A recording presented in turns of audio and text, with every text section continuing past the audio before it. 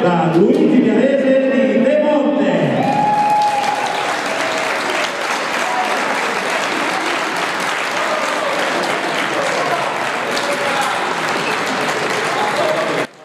Tricolori di petanca due squadre cunesi, Biarese De Monte e Valle Maira di Dronero. A bocca asciutta, ma con due ottimi secondi posti, sono rimasti quindi i liguri del San Giacomo di Imperia, che erano riusciti a piazzare due squadre, la maschile e la femminile, nelle finali playoff giocate alla Bocciofila Novella di Cuneo.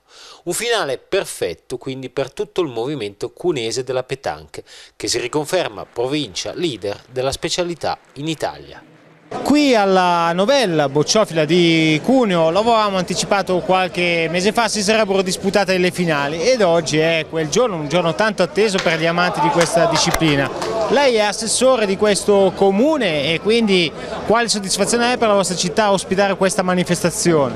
No, per noi è una grandissima soddisfazione e abbiamo apprezzato molto il lavoro fatto dalla novella per preparare l'impianto, dalla federazione bocce provinciale perché eh, perché questo è un impianto peraltro anche storico voglio dire, la società Bocciofia Novella ha più di 130 anni di storia, no? quindi da quel punto di vista lì oggi non è operativa con una squadra, però come impianto e come struttura è sicuramente il miglior impianto della città di Cuneo, è uno dei migliori del territorio cuneese, quindi lo ritengo assolutamente degno di poter ospitare una manifestazione come questa.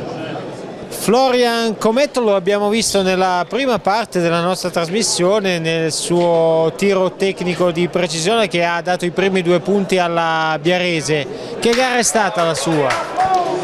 Ma diciamo che ero abbastanza teso per il fatto che quest'anno eh, non l'avevo ancora mai fatto il giro di precisione, è stata la prima volta e però diciamo che è andata bene. È andata bene, abbiamo sentito da Claudio Mamino che lei è stato anche in nazionale, ha avuto nella sua carriera alti e bassi, adesso sta ritrovando la sua forma migliore.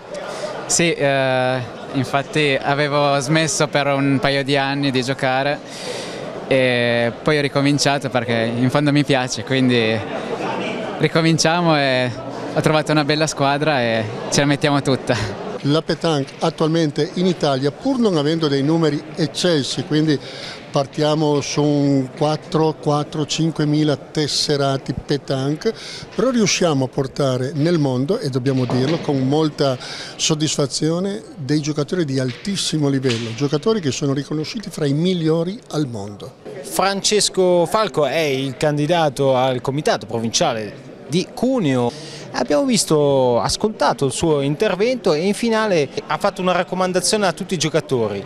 Rispettate i direttori di gara, rispettate il gioco e rispettate soprattutto gli avversari. Sì, questa è una raccomandazione che in genere mi piace fare perché innanzitutto stiamo facendo sport, stiamo facendo attività agonistica e come, eh, come, è giusto che sia bisogna rispettare il direttore di gara, qualunque sia la decisione che prende una decisione va rispettata, va rispettata negli altri sport e anche nelle bocce. Altra raccomandazione, rispettate il gioco della petanque. Il gioco petanque è uno sport, ha le sue regole, con il gioco si intende anche i regolamenti e proprio il condurre l'andamento della partita. E per ultimo, ma non meno importante, anzi direi che è molto importante, rispettare l'avversario, qualunque sia l'avversario, che sia più forte o più, più debole. In ogni caso è un avversario che raggiunge la finale e come tale va rispettato proprio come giocatore, come avversario in campo.